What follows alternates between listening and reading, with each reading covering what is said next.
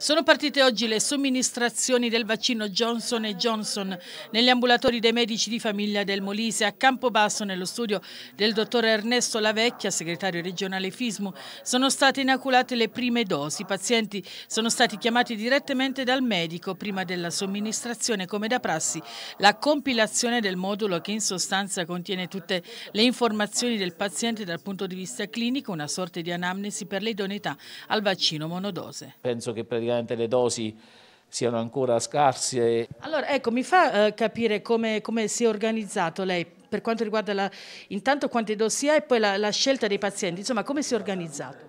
Allora, eh, di dosi io attualmente ho 10 dosi, cioè nel senso che ho due flaconcini da 5 dosi l'una, quindi alla fine potrò vaccinare, inoculare 10 vaccini. Eh, ho praticamente fatto l'elenco dei miei pazienti da 55 anni in su, eh, e poi l'ho dovuti confrontare all'interno della piattaforma per vedere quelli che non erano vaccinati. Vi dico, un lavoro certosino eh, abbastanza stressante e soprattutto nell'attività che continuiamo a svolgere quotidianamente nei nostri ambulatori, togliere tutto questo spazio è cosa semplice. La soddisfazione di vaccinare i propri pazienti ci sta tutta perché è chiaro che il rapporto è fiduciario, conosci i pazienti, quindi diciamo che anche i rischi sono limitati. Ecco, però molti suoi colleghi diciamo, non hanno accettato, non hanno accolto questa proposta.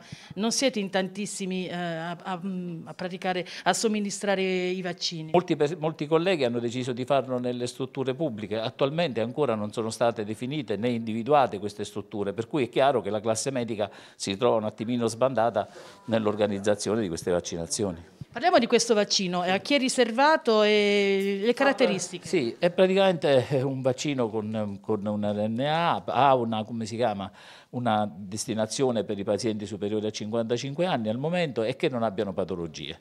Questo è quello che stiamo facendo in questo momento, ma anche se poi non siamo i soli a usare questo vaccino, ma lo utilizzano anche le hub vaccinali. Ricordiamo che Johnson Johnson è monodose. Sì, sì, questo è monodose, da quello che ci arriva dalla letteratura la copertura dovrebbe essere circa di 10 mesi, poi valuteremo, qua è work in progress. Si sente più sicuro a farsi vaccinare dal suo medico? Penso proprio di sì, eh, perché comunque oltre che lo conosco è stato bravissimo veramente quando mi ha fatto l'iniezione, non ho sentito assolutamente nulla.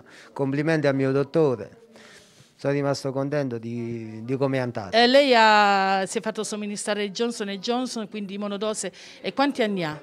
55, vieni più sicuro, più tranquillo, più rilassato, ma meglio di sicuro sì. Si sente più tranquillo dopo aver fatto il vaccino insomma? Sì, sicuro, sì.